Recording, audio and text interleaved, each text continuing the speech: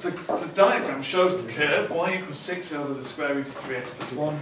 The shaded region is bounded by the curve and the line x equals 2x equals 9 y equals 0. Show that the area of the shaded region is 4 root 7 square units. Well, is just, just the area. Um, so that is the area would be the integral from 2 to 9 of 6 over root 3x plus 1 dx. Now, we are going to be super careful that we're going into this with our eyes wide open and we don't think, oh, it's one of those fractiony things. It's got to be a natural log. Because that would be madness, wouldn't it, to think that? That only happens if the power is 1 at the bottom there, and it's not, it's a half. So this is the integral from 2 to 9 of 6 lots of 3x plus 1 to the minus a half. Ah. We've, many of us have done core 4 now, we're ready for core 4 now, so this is, this is a simple integral. It's a kind of standard core 4 integral, isn't it? Um, so what's, what's going to happen with this, as we integrate it, we've got, we've got the 6 there, we need to divide by, we'll add 1 to the power, and divide by the new power, so that will be a half. We're also going to divide by the 3, that's the coefficient of x from in there, and that's 3x plus 1 to the half, between 2 and 9. That little fraction at the start um, is actually, well, what have we got there? Is that 4 that that ends up being? We've got 6 over 3, which would be 2, divided by half, which makes it 4. 3x plus 1 to the half, between 2 and 9. Now we put the limits in.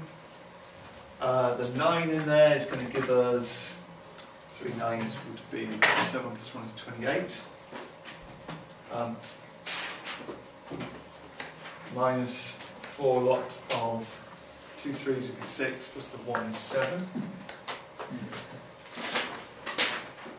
Root 28, well you can stick it into your fancy calculator now and it'll just give you a nice simplified surd answer. But root 28, that's 2 root 7 isn't it? Because it's 4 lots of 7. So we've got 8 root 7. Take 4 root 7, which leaves us with 4 root 7 as our answer for that. It wasn't to show that question, was it? Oh, it was, yeah. Show that it was 4 7. We did. So that's good. Okay, then it says, the shaded region is rotated completely about the x-axis. We've got to read that carefully just to make sure we know which way it's being rotated, don't we? Show that the volume of the solid produced can be written in the form k and then 2, where the exact value of the constant k is to be determined. Remember the volumes of revolution stuff? We've got the volume. It's the integral of pi y squared dx between the limits that we're dealing with. So we need to know what y squared is. Now if y is 6 over root 3x plus 1, y squared is the square of that. So 36 over 3x plus 1. So that's what we're integrating now. So our integral is the integral from 2 to 9 of pi times 36 over 3x plus 1 dx.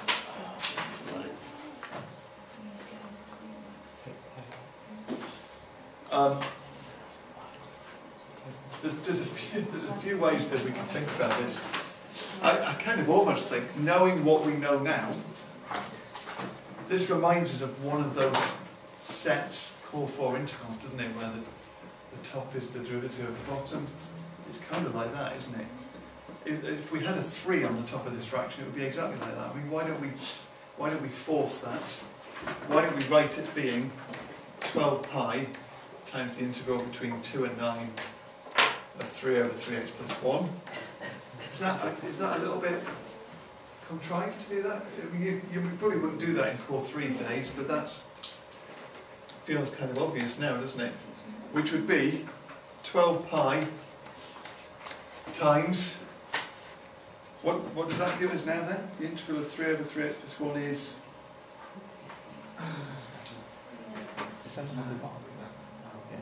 It's just the natural log of three x plus one, isn't it?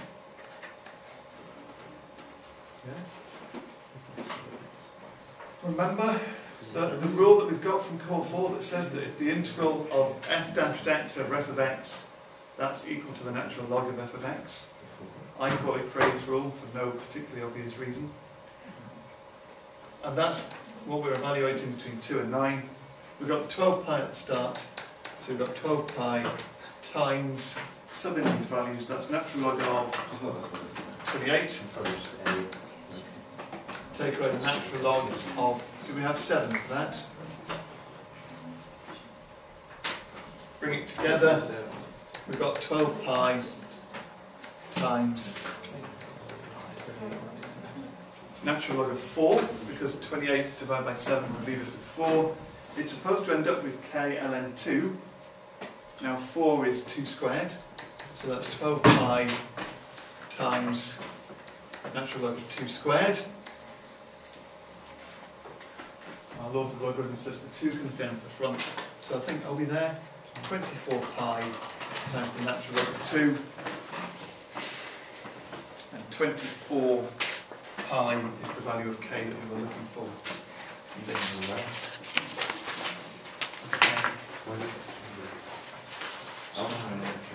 The three go? And, and maybe, maybe I shouldn't have done all this messing around with this bit here, sorry.